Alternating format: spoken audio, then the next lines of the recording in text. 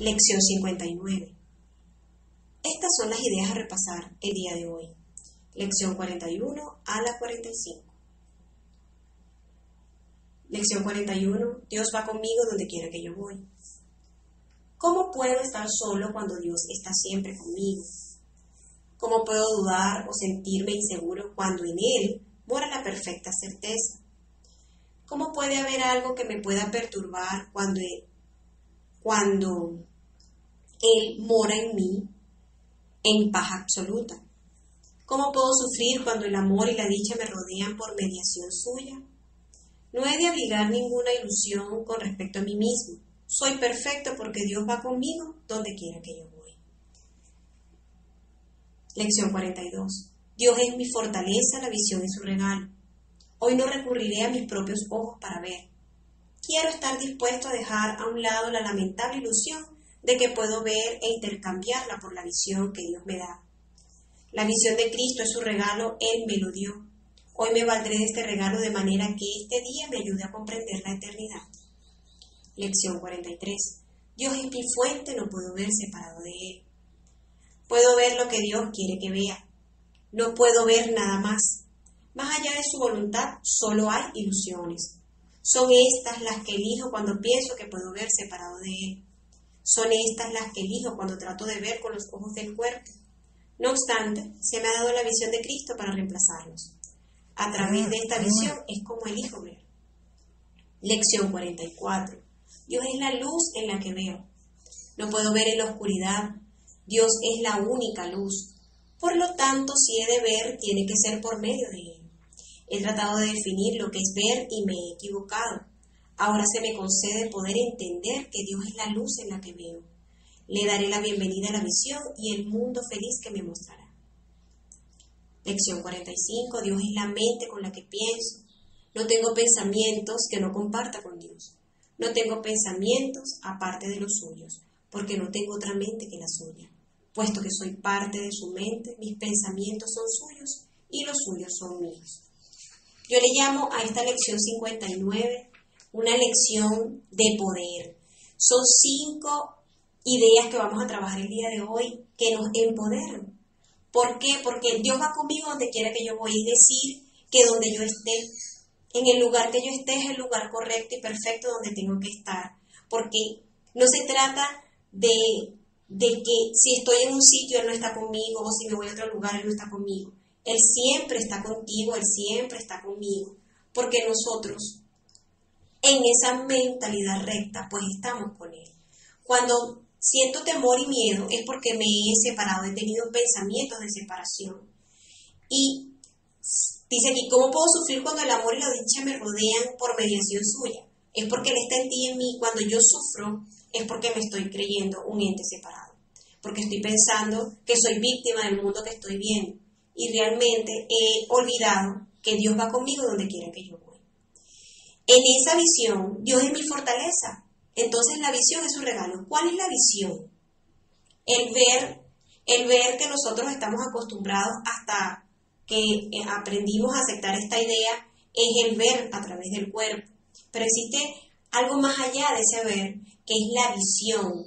La visión es un regalo porque cuando nosotros elegimos ver con la visión de Cristo, estamos viendo el ser en esencia, la criatura de Dios, que es mi hermano, que soy yo, y no me dejo engañar por las ilusiones. Por eso decía que hoy no voy a recurrir a mis propios ojos para ver. Estoy dispuesto a dejarlos a un lado, dejar de lado esa ilusión que me hace sufrir, que me genera temor, que me hace enojar, que me da rabia, que, bueno, todos esa, esos derivados del miedo, que la visión no me va a llevar hasta allí, me lo lleva es la interpretación que le doy al mundo. Entonces, hoy me valdré de este regalo de manera que este día me ayude a comprender la eternidad, lo que es verdadero, lo que es verdad. Dios es mi fuente y no puedo ver separado de Él. Entonces, le llamo que son cinco poderes, porque fíjense, Dios va conmigo donde quiera que yo voy, Dios es mi fortaleza, la visión es su regalo. Dios es mi fuente, no puedo ver separado de Él. Si yo acepto esto, estos regalos que Él me da, entonces estaré empoderándome porque Dios está donde yo, donde, donde yo esté y Él es mi fuente. O sea, todo lo que procede de Él en mí se extiende a través de mí, a través de mis hermanos. Entonces, cuando yo permito que se haga su voluntad, ¿verdad? Allí estará manifestándose lo que es la verdad. Me hago un lado y dejo que Dios me muestre el camino, que me guíe, que me oriente. El Espíritu Santo es el, mediador que nos dejó para nosotros poder despertar, recordar quiénes somos. ¿Quién soy? El Santo Hijo de Dios. Y como soy su Santo Hijo, pues Dios siempre está conmigo. Es mi fortaleza y es mi fuente. Su visión es mi regalo, por eso no puedo ver separado de Él. Dios es la luz en la que veo.